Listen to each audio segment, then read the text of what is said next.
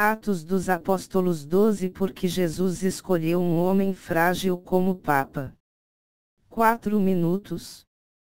Porque Jesus escolheu alguém como São Pedro, um pobre pecador, para vesti-lo com um carisma tão poderoso, o da infalibilidade na doutrina salvação. Há uma razão muito profunda. Isso porque, ao colocar um homem com esse poder, ele precisava ser capaz de permanecer humilde. Finalmente, um carisma como esse, que faz com que Simão, Pedro, não seja algo que pertence a Pedro por si só, a única pedra, digamos protestantes com razão, é Cristo. É Ele quem tem poder divino e infalibilidade.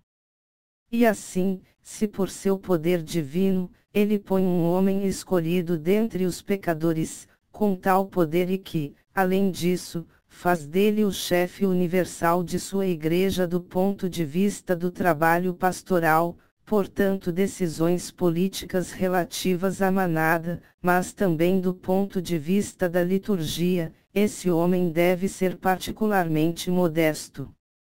É, portanto, acho que podemos dizer que, se Jesus permitiu que São Pedro fosse corajoso ao mesmo tempo, ele sacou a espada para defendê-lo durante a prisão, e ao mesmo tempo, alguns minutos depois, mais covarde do que qualquer coisa a ponto de renunciar diante de um pequeno servo olhando para ele, é para que ele nunca seja tentado a se orgulhar desse imenso poder que ele lhe deu.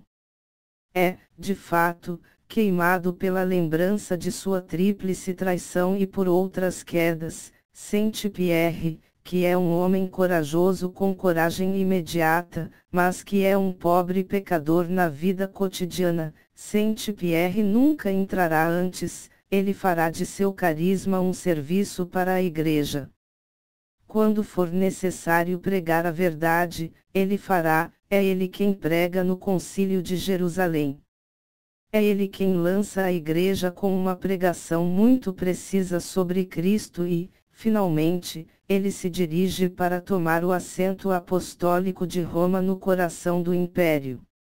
Mas, diante de tal poder, ele sempre permanecerá modesto, a ponto de seus sucessores nem perceberem que esse carisma existe. E que foi a Igreja Católica que, observando-a ao longo dos séculos, notou que nunca havia ressuscitado na sede de Pedro alguém que proclamava oficialmente a heresia como tal. Alguns citam Honorius Premier. Simplesmente não era muito preciso, digamos, não muito eficaz contra o monotelismo, ou seja, essa heresia que diz que Cristo tem apenas uma vontade. Cristo tem duas vontades, uma vontade divina e uma vontade humana, pois ele tem duas naturezas completas. Mas não está na proclamação de uma heresia como tal. Esse carisma terá que ser reconhecido um dia e, de fato, em algum momento, quando a plenitude for exercida entre os papos, eles ficarão orgulhosos. E esse orgulho causará lágrimas na igreja para que Deus, a partir do século XIX, tenha que arrancar do Papa algumas de suas forças, sua coroa, em particular os estados do Vaticano, que lhes deram tanta autonomia política que eram como príncipes deste mundo. De repente, empobrecendo-os, seguindo-os por um caminho que não desejavam, como Jesus havia anunciado a Pedro, quando você envelhecer, outro colocará seu cinto para levá-lo aonde você não deseja. Não iria querer, Cristo tornou o ministério pontifício mais santo e o papado mais humilde, mais a serviço de sua missão.